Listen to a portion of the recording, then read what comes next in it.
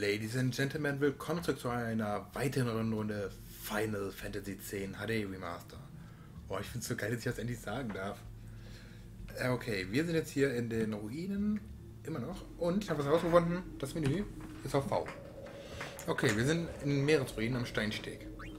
Wir haben jetzt momentan 12 Potions und 3 Phönixfedern. Wichtige Items haben wir noch gar nichts, aber Ausrüstung haben wir ein Langschwert und einen Buckler. Abilities haben wir keine. Ekstase.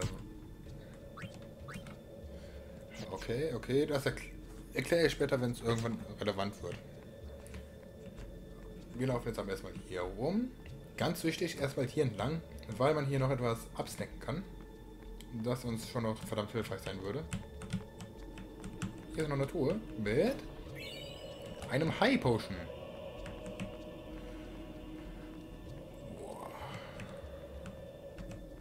Ich finde es einfach nur episch hier.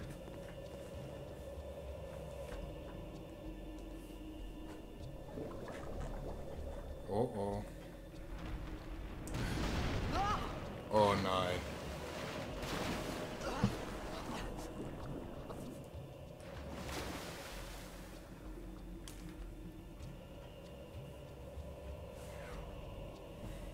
Sorry, da war doch der Mauszeiger. Okay, dann schwimmen wir mal einfach hier runter. Vielleicht haben wir ja hier irgendetwas.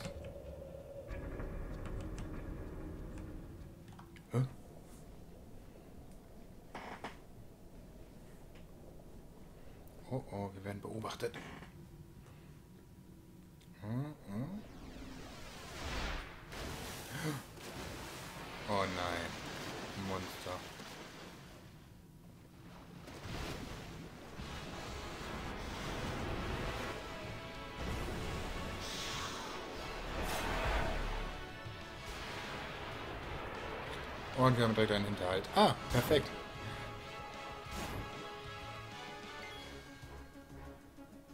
Wenn das hier eine Kampfmusik ist, hier finde ich aber nicht so pralle. Also wir müssen... Kann auch mal passieren, dass wir unter Wasser kämpfen müssen. Dazu aber dann später erstmal. Ah, easy going hier. Aber das stimmt doch nicht. Regel Nummer 12. Es gibt immer einen größeren Fisch.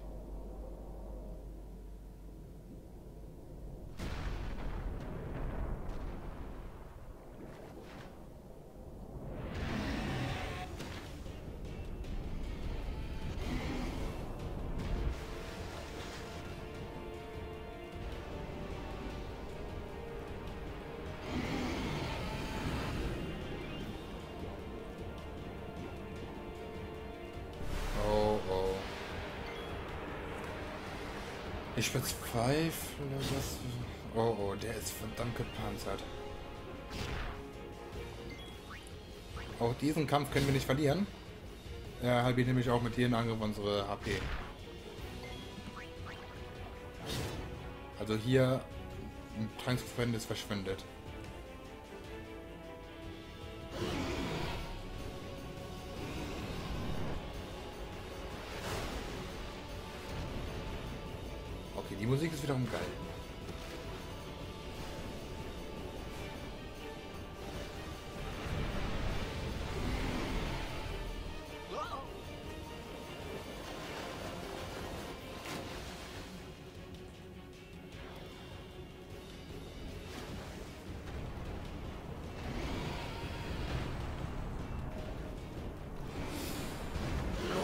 Alter.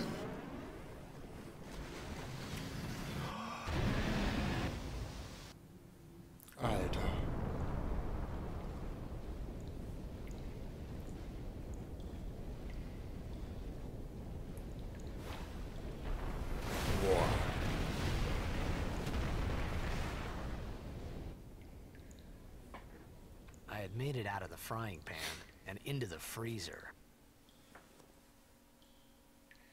Thought I was gonna die in this place.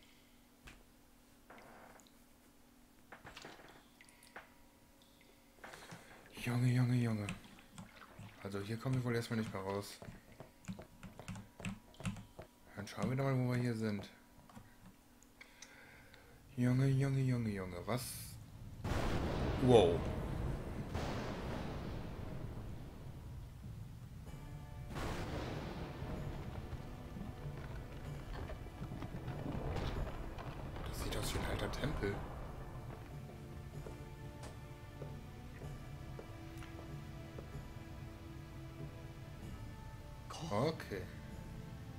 Ja, das kann ich mir vorstellen, dass es da kalt ist. Need fire.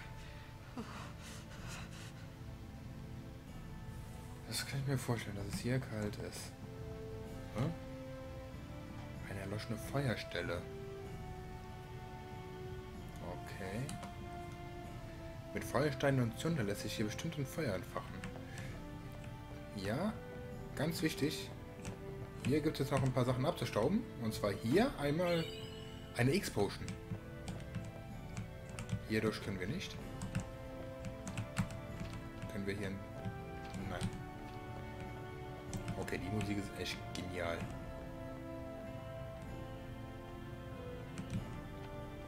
Hier haben wir dann noch eine... Eine Adder.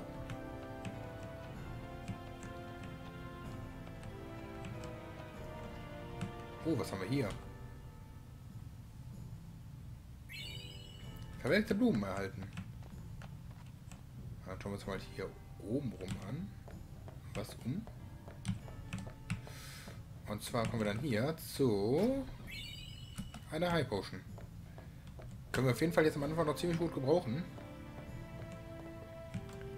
Jetzt, wo wir noch verwundbar sind.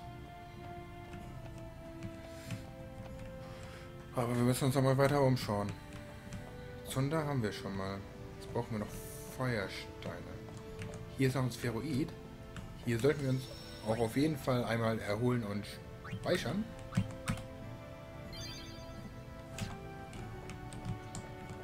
Dann einmal hier rein. Was haben wir denn hier? Hä? Feuersteine. War das hier? Ich kann mich auch nicht an was erinnern, was hier drin war. Ne, das war's.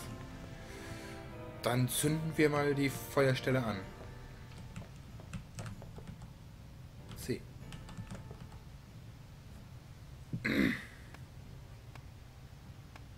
Boah. Jo.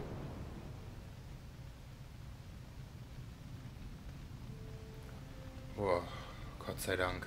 Das zum Aufwärmen. Junge, Junge, Junge, das muss, da muss es echt kalt sein. Weil schon hier die Atemwolken zu sehen sind. Oh oh.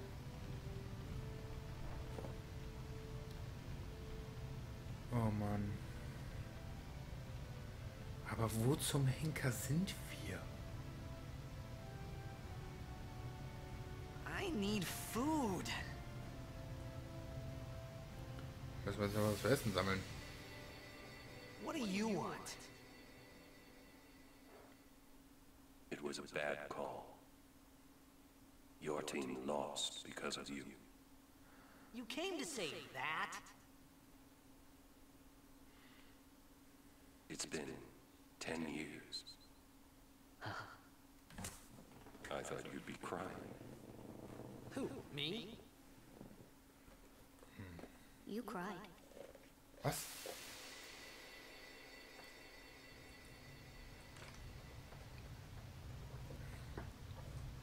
Schon wieder dieser Junge. Oh nein, das Feuer ist aus. Was war das? Was war das?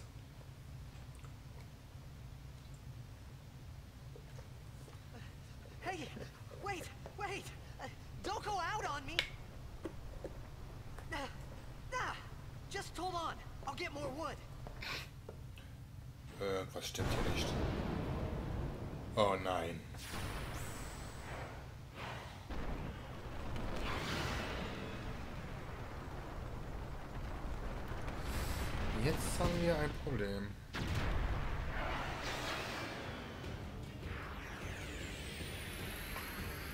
Jetzt, jetzt dürfen wir gegen einen Quick kämpfen. Das ist, glaube ich, auch der erste Kampf, den man verlieren kann. Also jetzt wird es schon, muss man ein bisschen besser aufpassen auf seine AP. Rechts sieht man auch immer wieder die Leiste, wenn man dran ist. Da kann man schon mal planen, wer nächstes dran ist. Weil jetzt können wir uns einmal mit einer Potion heilen. Um 200. Und nun mal angreifen.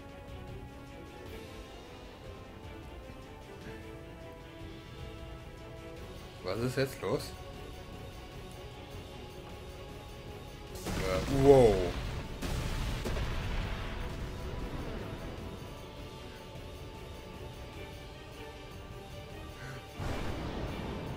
Unterstützung.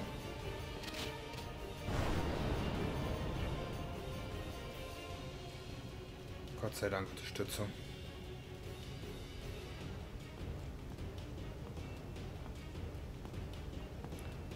Oh, und die Kleine da kämpft wohl mit uns jetzt. Und der Kampf fängt von vorne an. Handgranate benutzen. Unter den Items befinden sich spezielle Gegenstände wie zum Beispiel die Handgranate.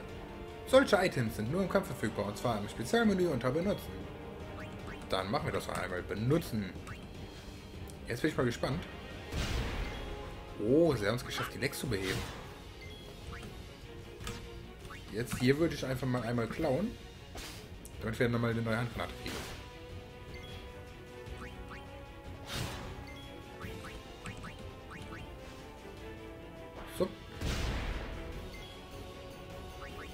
Und du benutzt jetzt mal eine High Potion auf, ja, auf ihn, auf Tilos bitte. Äh, eine normale Potion, nicht eine High Potion. Sehr schön, Crit. Du greifst nicht normal an. Du... Ne, du klaust nochmal. Zwei Handgranaten, perfekt. Und jetzt kannst du eine Handgranate werfen. Und das war's, das Vieh ist da. Erhaltene AP 1. Und Tilos hat ein S-Level. Was ist ein S-Level? Das erfahren wir noch später. Und wir bekommen zwei Ability-Spheroiden. Was das ist, erfahren wir später auch noch. Oh, aber wir haben es geschafft.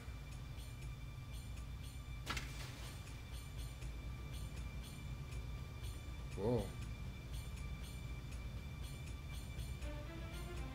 Phew. That was close. Yeah. Oh. Hey, let me go. Oh oh. Redek Drak! Was? Fin, Irisa, Tekika! Monster? Wag, Edeku! Kemed?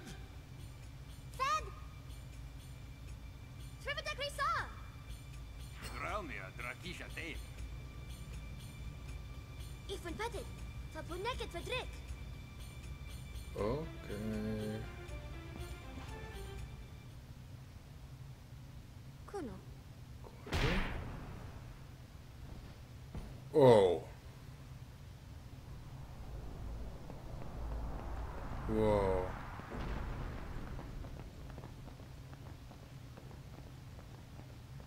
Oh oh.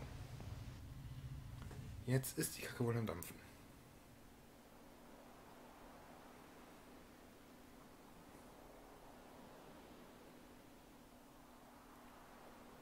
Wo sind wir denn jetzt gelandet?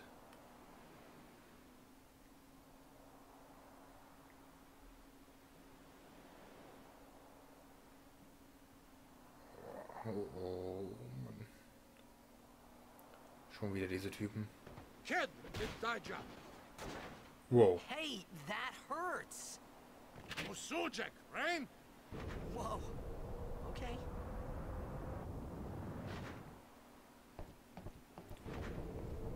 Das muss wohl der Chef sein. Keines! Was?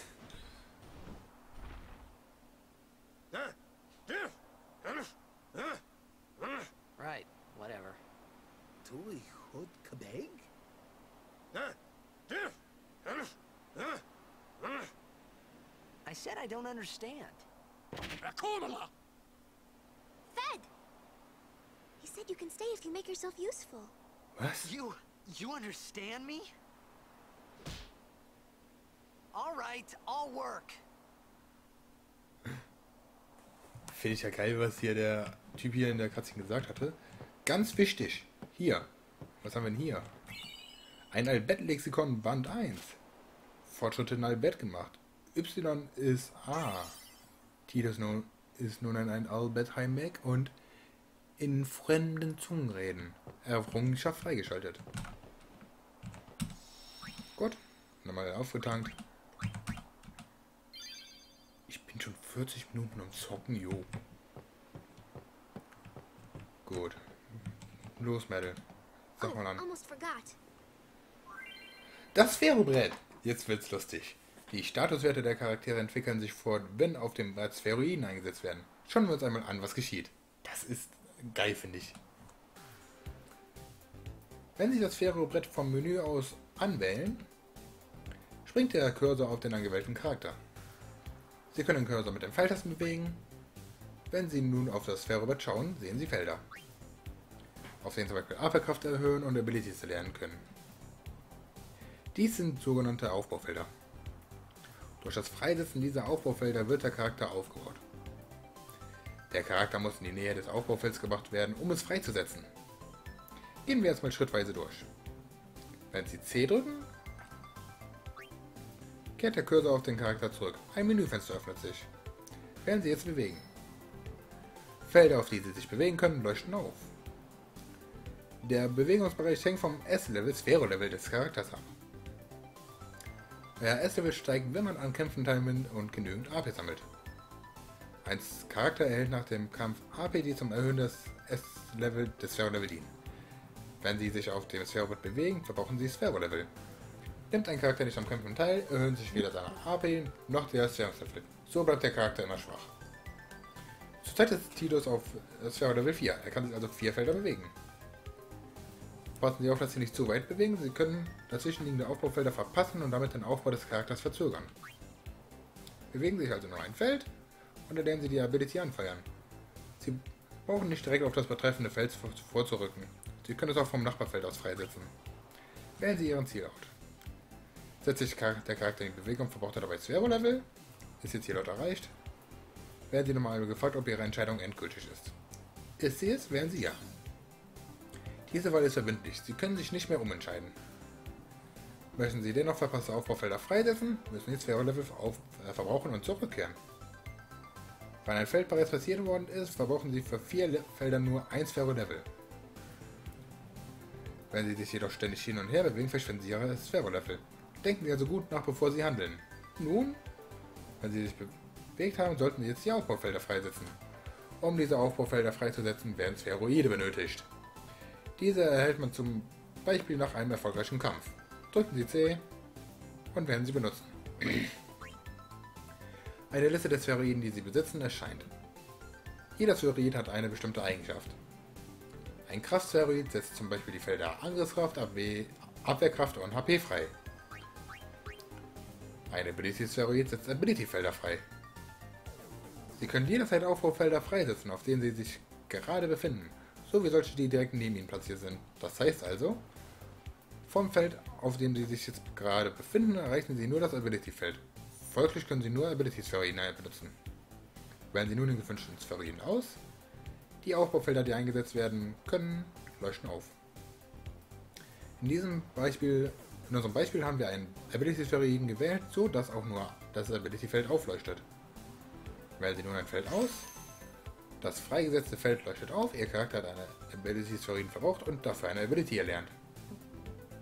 Wiederholen Sie den Vorgang, um Parameter wie Angriffskraft, Magie oder die maximale HP bzw. MP-Werte zu steigern. Benutzen Sie dementsprechend Kraft, Wunde und Zeitsphäroiden, um die gewünschten Werte zu steigern. Alle Aufbaufelder, die sich auf dem Sphärobett befinden, können von einem beliebigen Mitstreiter freigesetzt werden. So können auch Felder freisetzen. Sie können auch Felder freisetzen, die bereits zuvor von einem anderen Mitstreitern freigesetzt worden sind. Die Sphero-Stops auf dem Sphero-Brett sind zurzeit nicht passierbar. Wenn es soweit ist, erfolgt eine Erklärung. Soviel zu den Grundlagen. Das Sphero-Brett verfügt über einige praktische Funktionen. Die aktuellen Statuswerte der Charaktere sind mit V einsehbar. Mhm, mhm. Da wir anfeuern? Okay, ja. Gut. Ziehen Sie stets stets die aktuellen Statuswerte in Betracht, wenn Sie Charaktere aufbauen. Mit S und D können Sie zwischen Charakteren, die Sie sich bewegen, die Sie bewegen möchten, wechseln. Die Funktion erweist sich als praktisch, wenn Sie mehrere Charaktere aufbauen oder ihre Statuswerte vergleichen möchten. Außerdem können Sie mit N einen Überblick über das gesamte Sphärobrett gewinnen. Also, es ist schon gut, was zu kriegen. So, für zum Sphärobrett. Bauen Sie nun Tilos auf. Gut. Würde ich sagen, ich gehe wieder mal ins Sphärobrett. Moment. Ich will jetzt mal schauen. Hier ist Anfeuern. Was haben wir hier? Und Unheil. Okay, wir gehen nach oben. Okay. Zack. Benutzen Ability Spheroid. Und wir können anfeuern. Und als nächstes kriegen wir dann hier Abwehrkraft, Stärke um 1, Geschick, Angriffskraft, Treffer und so weiter. Und Schuss lernen wir hier. Dann sogar Hast und so weiter. Also es gibt hier schon einiges zu kriegen. Ups. Hier unsere Freundin hier müssen wir nicht aufrüsten. Können wir auch nicht. Gut. So viel zum Serverbrett. Ich speichere jetzt noch einmal und wir sehen uns dann beim nächsten Mal. Ich hoffe, das Serverbrett ist so verständlich für euch genug gewesen. Wenn nicht, könnt ihr mir in die Kommentare schreiben und ich versuche es dann in der nächsten Folge nochmal zu erklären. Oder in einer der nächsten Folgen. Drücken wir es besser so aus. Aber ich glaube, es ist schon ziemlich verständlich ausgedrückt. Gut, dann würde ich sagen, bis zum nächsten Mal. Bis dahin. Tschüss.